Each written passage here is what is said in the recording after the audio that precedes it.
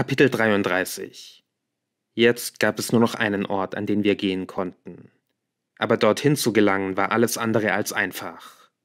Zwar hatten wir die Wachen in dem Irrgarten aus Straßen und Gässchen abgehängt, lange bevor wir bei Dr. Perrett ankamen, doch der Weg, der vor uns lag, war ziemlich weit, und der arme Tom konnte sich kaum noch auf den Füßen halten. Er bettelte darum, sich ausruhen zu dürfen. Nur noch ein kleines Stück, sagte ich dann immer, und gehorsam taumelte er weiter. Aber jeder Schritt war eine Qual für ihn. Er musste sich immer wieder übergeben, so dass sein Magen mittlerweile völlig verkrampft war. Jedes Mal betete ich, er möge nicht zusammenbrechen. Dann, als wir die Throckmorton Street überquerten, waren seine Kräfte aufgebraucht. Tom, flehte ich, Tom, bitte, steh auf, du musst aufstehen. Aber er konnte nicht mehr. Ich wusste nicht, was ich tun sollte. Wir waren völlig schutzlos. Ich konnte ihn nicht allein tragen, aber mir war klar, dass sich niemand in unsere Nähe wagen würde.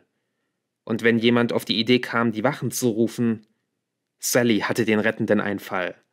Sie sauste hinter einen Häuserblock mit anschließenden Gärten und kehrte mit einem Handkarren zurück. Fantastisch. Wir wuchteten Tom auf den Karren und schoben ihn weiter. Ich geriet einen Moment lang in Panik, als wir zwei Männern begegneten, die uns auf der Straße entgegenkamen. Aber es waren keine Soldaten. Als sie Sally und mich sahen, wie wir einen Karren mit einem reglosen Körper vor uns herschoben, machten sie auf dem Absatz kehrt und flohen. Sally und ich konnten jetzt schneller gehen. Wir rannten fast. Endlich landeten wir in der Gasse, nach der ich gesucht hatte. Sie führte zu einem Labyrinth aus hohen Mauern mit Eisenspitzen obendrauf. Sally betrachtete verwirrt die verwinkelten Gassen, aber ich kannte den Weg. Was ist das hier? fragte sie.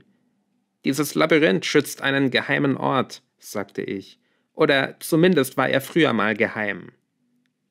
Als wir hindurch waren, standen wir vor einem schmiedeeisernen Tor.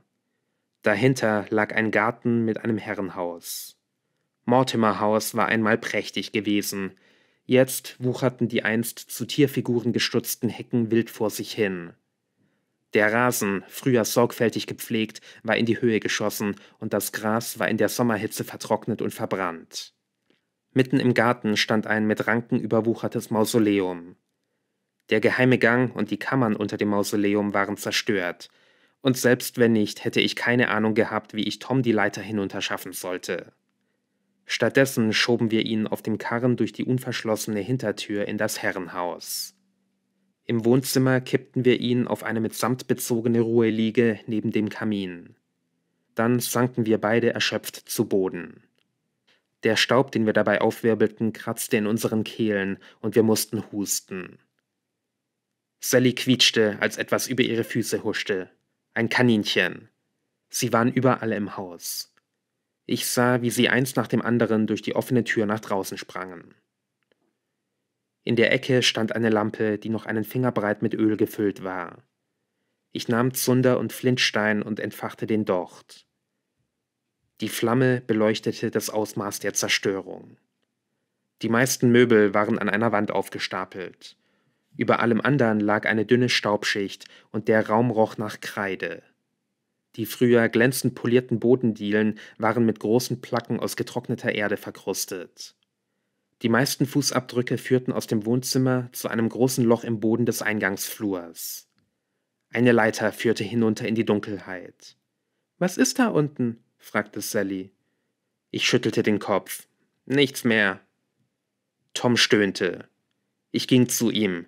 Er warf sich unruhig auf der Liege hin und her, das Hemd klatschnass geschwitzt. Ich hab Durst, Christopher. Bitte, ich hab solchen Durst. Ich schaute zum Kamin. Daneben lag ein hoher, staubiger Stapel mit Holzscheiten. Kannst du ein Feuer machen? fragte ich Sally. Wir müssen ihm das hier geben.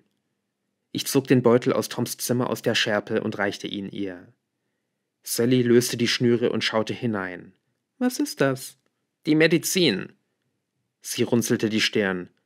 Aber ich dachte, Melchior? Ich verstehe es auch nicht, sagte ich. Vielleicht hat Melchior von Tom bekommen, was er wollte, und hat sich nun entschlossen, sein Leben zu retten. Oder vielleicht denkt er, er könne Tom nicht sterben lassen, weil Galen und Henry jetzt wissen, dass er ihm die Medizin ursprünglich geben wollte. Wie auch immer, er braucht sie dringend. Also gut, sagte Sally. Wie geben wir sie ihm? Ich hatte ein Fläschchen mit Wasser in der Schärpe, aber das reichte nicht aus. Mach Feuer, ich schau mich mal um. Früher war dort unten in dem Loch im Boden jede Menge Wasser gewesen, zusammen mit unzähligen Zutaten, mit denen mein Meister sein geheimes Labor betrieben hatte. Das Feuer des Erzengels hatte alles vernichtet, buchstäblich alles. Das wenige, was nicht zu Asche zerfallen war, hatten Lord Ashcombs Männer mitgenommen, auf der vergeblichen Suche nach dem geheimen Rezept meines Meisters. Ich ging um das Loch herum und durch die Küche in die Speisekammer, in der ein paar Vorräte vor sich hinschimmelten. Das Dünnbier war verdorben. Daneben stand eine Kiste, halb voll mit Weinflaschen. Ich entkorkte eine davon. Der Wein roch ein wenig säuerlich, aber er würde seinen Zweck erfüllen. Ich nahm die Flasche mit und holte auf dem Weg ins Wohnzimmer noch einen Topf und einen Becher aus der Küche. Sally hatte ein Feuer entfacht. Ich goss Wein in den Kochtopf und stellte ihn auf das Ofengestell. Dann reichte ich Sally den Becher und setzte mich neben Tom, während wir warteten. Ich legte meine Hand auf seine Stirn. Sie war schweißnass, aber die Haut war kühl. Es fühlte sich nicht so an, als hätte er Fieber. Sally hielt den Beutel hoch. Wie viel davon soll er bekommen? Hm, vermutlich alles? Tom? Er murmelte vor sich hin. Tom, was hat dir Melchior wegen der Medizin gesagt? Tom zog eine Grimasse. Ähm, er hat mich gefragt, ob ich wüsste, was drin ist. Und was hast du ihm gesagt? Dass, dass ich es nicht weiß. Dann meinte er, es würde mir bald besser gehen. Er hat mir das Zeug zu trinken gegeben. Ich. Ich wollte es nicht trinken, aber er hat mich dazu gezwungen. Er hat es für dich zubereitet? Alle sechs Stunden. Alle? Was? Tom warf sich hin und her. Ich schüttelte ihn sanft. Tom, wie oft war Melchior bei dir zu Hause? Äh, weiß nicht, sagte Tom schleppend.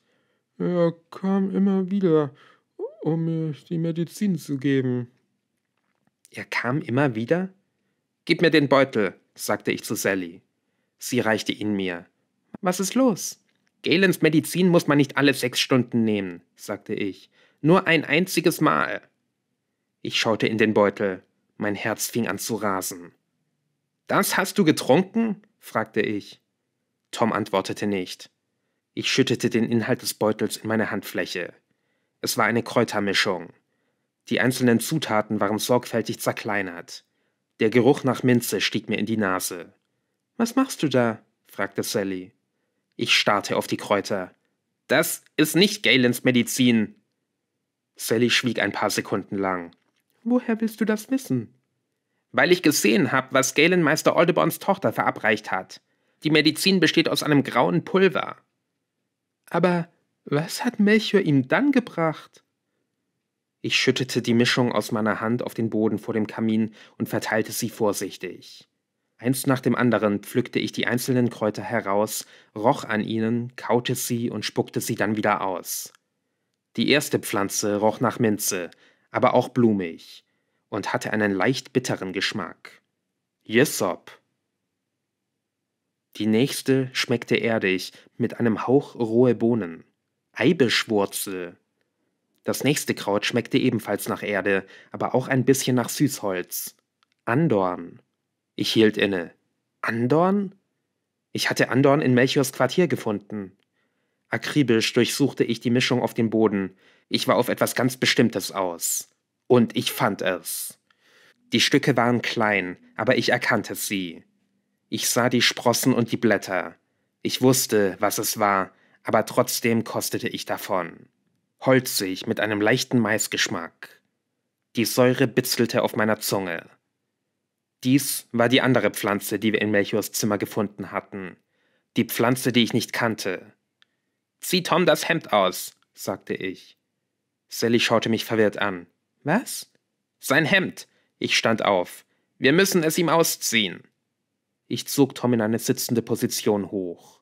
Er stöhnte, aber wir schafften es, ihn hochzuwuchten und seinen Oberkörper freizulegen. Im Schein des Feuers untersuchte ich ihn. Seine Brust, sein Rücken, unter den Armen, nichts. Aber ich musste auch noch tiefer nachschauen. Ich muss seine Hose öffnen. Sally zog die Augenbrauen hoch und drehte sich dann um. Tut mir leid, Tom, sagte ich. Dann fuhr ich mit der Untersuchung fort. Nichts. Wonach suchst du? fragte Sally. Nach den Zeichen. Ich stand auf und fing an, auf und ab zu laufen. Nach den typischen Pestzeichen. Er hat keine. Keinen Ausschlag, keine Schwellungen, keine Beulen, keinen Abszess, keine Blasen. Aber es geht ihm so schlecht. Sie runzelte die Stirn. Wenn Tom so schlimm an der Pest erkrankt ist, dann müssten diese Zeichen doch längst sichtbar sein, oder? Ja. Ich wandte mich an Tom. Tom, als Melchior dir die Medizin gegeben hat, wie hast du dich danach gefühlt? Hm, wie vorher, sagte er. Immer genau wie vorher? Fühlst du dich jetzt so wie heute Morgen? Oder wie gestern Abend? Nein, schlimmer. Ich raufte mir die Haare. Ich war so dumm gewesen. Sally schüttelte den Kopf. Das verstehe ich nicht. Du hast es selbst gesagt, stöhnte ich. Wenn Tom so schwer an der Pest erkrankt ist, sollte er irgendwo an seinem Körper sichtbare Zeichen haben. Hat er aber nicht. Stattdessen wird er durch das, was Melchior ihm verabreicht, immer kränker. Ich holte tief Luft. Er hat gar nicht die Pest. Vorsichtig zog ich die Sprosse, die ich aus Melchiors Zimmer mitgenommen hatte, aus der Apothekerschärpe unter meinem Hemd. Er wurde vergiftet.